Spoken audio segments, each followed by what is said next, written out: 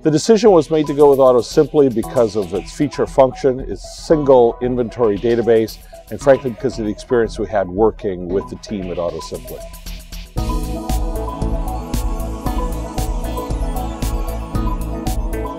We were looking for a discrete manufacturing solution for some client information. We chose AutoSimply because it's built in the SDK, rides inside the Sage 300 platform. So from the user experience, it's very easy for them to get into those modules. It feels and looks the same as any other Sage 300 module.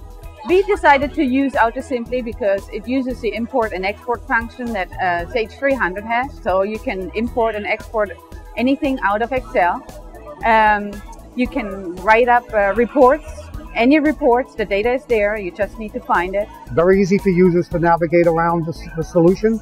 Uses the same user licenses, uses Accpac's inventory, vendor, purchase order databases so that there's no duplication of effort or master file setups. A lot of manufacturers start out just needing simple manufacturing, but their business is going to grow.